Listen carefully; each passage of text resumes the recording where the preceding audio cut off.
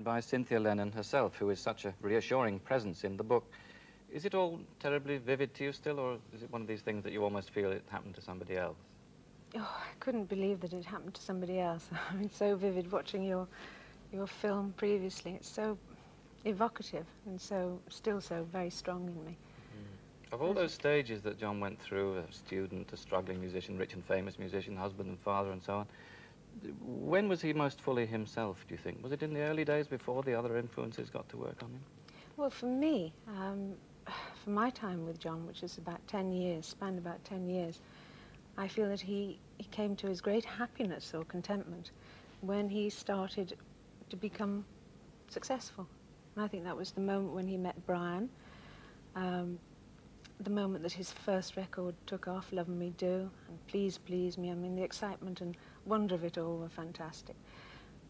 The child that he had, Julian, he didn't have a lot of time to see or to, to be with, but it was also a fulfillment to him. And I think possibly, I feel that I had the best years with John. it sounds very, very strange thing to say, but I feel that he was at his most content during, say, from 60 to 65. Mm. If the music hadn't taken off the way it did, Uh, what would he have ended up doing, do you think? I mean, was he employable in any normal sense when, when he was at the art school? Well, he was, he was too individual to be employable. I mean, he was a, a rough diamond and, and a great talent and a nonconformist. And I feel that, well, in my belief in my time with him, I honestly believe that I would teach and he would carry on painting. Because I couldn't see him fitting into a nine to five job or, or doing anything like that. When you were married, uh, on your wedding night itself, he was playing with the Beatles in Chester, wasn't he? Was that, uh, what did you think about that? Did you think, aye, aye, things are going to carry on like this? Well, I knew John from the beginning, so it made no difference to me. it was just, I mean, our marriage was a, was a bizarre uh, marriage under any circumstances, and but it was what we were used to. We were only children. I mean, when you look back, um, uh, I was 20, 21, and John was 20. I was 21 and John was, say, 20. And we were babies. I mean, I look at my son now and I think, my God, you know, what we did then, I dread to think what, what he, how he would cope with it, mm. you know, at this time in his life. How did John take to fatherhood? Because it must have been difficult for somebody who hadn't really had a father of his own, although he was still alive, he was far I think, away. I think when he first saw Julian, I think that the absolute magic and novelty of it was so much that the responsibility, he, he, had, he, wasn't aware of the responsibility of being a father because it happened so quickly. Um, but later on, of course, you know, I think he realized it suddenly came home to him that he was a father and responsible for a, a young child. Mm. But at the time, he was still a student. We were virtually just out of short socks and gym slips or short pants and you know. mm. As the success grew, you were installed in Weybridge. Now, you were a homemaker and you did your own arts and crafts and so on, but do you think you would do the same again, or would you get out there into that Beatles world and make your desires known? Oh, no, because my desires were known anyway. I mean, uh, because I was a homemaker and a mother, I mean, that, that was what, what uh, presented itself to me at the time. And I believe that I'd do my best at whatever is presented to me. But I wouldn't have been any different, because I had my standards and my characteristics any more than John had his standards, characteristics. But I wouldn't know. No, I wouldn't have changed a thing. How did you feel about the songs as they come, came out? It says somewhere in the book that you must have begun to feel that there were messages, signs of another life that he was leading, creeping into Norwegian Wood, I think, is an example that Well, it was, given. over, it was over a period of five or six years, and a lot of other things were happening at the same time and a lot of things, I mean, John wrote music with Paul and George and Ringo, and they worked together. So for me, it wasn't necessarily what was happening to John that was coming out in his music. It was happening to all of them at the same time. So I couldn't pinpoint any particular thing or, I mean, like Norwegian Wood. I mean, I realized afterwards because I was told why. You know, the reason for writing Norwegian Wood was because, you know, of a um, little flirtation on the side or what have you. I mean, at the time, I just, I was fascinated by their music and their progress, and no, I wasn't thinking of mm. messages particularly. Do you listen to those songs now? Do you have them?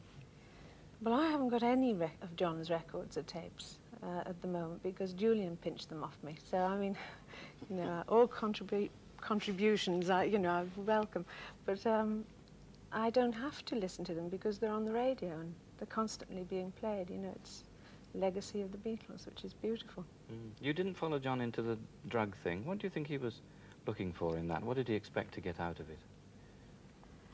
Well, I think John, John had such an open mind. He was so fascinated with, with anything extraordinary or out of the ordinary or, or not unorthodox. And they presented themselves to him. He was an open-minded man and he just accepted them and tried them. As far as I was concerned, I, I wasn't in that sort of circle most of the time. So it really didn't hit me. I wasn't pressurized with that, that sort of scene as much as he was, mm. or most musicians. When Volume 2 does come out, is that something that you will read? Will you be able to Oh, I hope that? so, yes, I hope so. yeah. Because, I mean, it's still, I mean, the whole story of the Beatles, story of John, John's life is very precious to me. And, I'm ah, a person that wants justice. So Volume 1 you, you approve of? This is the right stuff? Well, Volume 1 I, I assisted Ray Coleman because I felt that I'm, I was so sick to death of reading accounts and stories and inaccuracies in certain other books that I just couldn't believe and that I wanted desperately, if Ray was going to write a book, to assist him and point him in the right direction to people that really loved John, really knew John, mm -hmm. and really cared about his memory. Not someone who was going to write something just for a fortune, yeah. you know, and sensationalism. Well, Paul, you've read the book. Do you feel you know John better now? Well, I absolutely agree with what Cynthia has just said. Uh, before Ray started writing this book, he took me to lunch and, and asked me for my opinions on his approach. This is a very loving and protective book, unlike some of the others that have surfaced recently. Even when the negative bits come up, it's done in the framework of, well, there may have been drug use, but it wasn't as bad as you've read, or there were girls on the road, but it wasn't the orgies you've heard about. Brian may have been attracted to him, but that wasn't the main reason he signed up the Beatles, and even so, it was okay anyway. It is something where he actually cares about John Lennon, and this is in stark contrast to uh, the recent major book, which was basically a scandal sheet by Peter Brown, and Philip Norman's book, which is very entertaining, a show business book written in a very flowery style, but focusing on the phenomenon of the group rather than on the individual. I was quite amazed that, that Cynthia did have the courage to loan Ray Coleman some of the letters that John had written to you, which are very revealing, not only because they showed how much he loved you, but how much he loved some other things in his life. There's a line in one of the letters where he says, I love you like guitars. And I yes. thought that says so much. It shows how much he loved the music as well as yourself. But it shows you that he was a loving man and a caring man. And so many of the books have portrayed him as a very harsh, cruel, and insensitive man. And John, John was like all human being, beings. He was vulnerable. He was an individual. He fought. He had a lot of pain. But above all else, John was honest to his own pain. I mean, he, he was so honest that it created pain for himself. Is there a kind of vulnerability that you recognize sort of professionally? There is. One of the things I, I, I, wanted to ask you was that in the book, it seems as if that vulnerability with this harsh, often rather cruel shell is traced back to uh, when he was five, maybe a bit younger than that, and the battle between his mother and father about his actual disposal. Was, was that something he talked about? Because where else would the details of that emotional impact have come from? Well, the details would have come from Auntie Mimi, who was closer. I mean, I didn't meet John till I was 16, 17. But uh, Auntie Mimi was so close to John. She was virtually his second mother. And she would know all about it. It was a very close family. Was it something he talked about? Was he someone who talked about his feelings? Because I sensed in his use of drugs a way of sort of releasing himself in ways that he didn't normally find very easy. I think his release was in his music, his music. and his words and drugs.